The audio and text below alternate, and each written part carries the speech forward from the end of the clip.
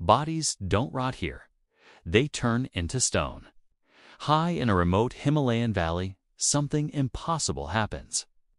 This is Ladakh's natural mummification valley, situated over 11,000 feet above sea level, where the extreme climate defies the natural process of human decay. Here, the air is incredibly dry and the soil is so rich in minerals that death takes on an entirely different form.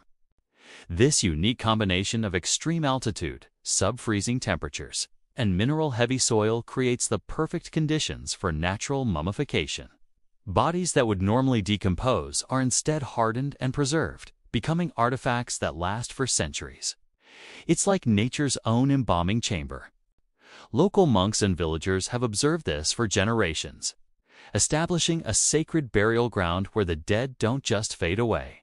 They crystallize into stone-like figures. Scientists studying this phenomenon have confirmed what locals always knew. The harsh Ladakh environment truly transforms human remains, turning them into stone-like formations. These aren't just graves, they are a perfectly preserved window into the past. In Ladakh's valley, the dead don't rest. They endure.